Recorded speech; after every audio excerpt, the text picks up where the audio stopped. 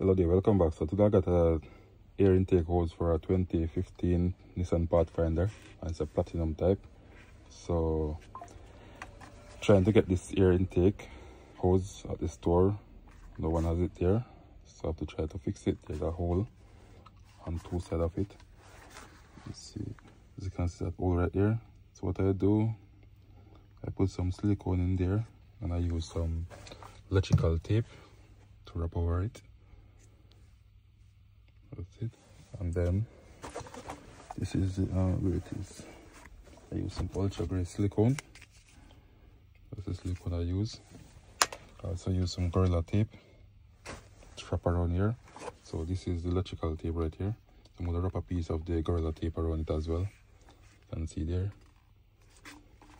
So hopefully it will work. So if you have any same issue guys you can try this and see if it will work for you Thanks for watching. Catch you another time. Bye.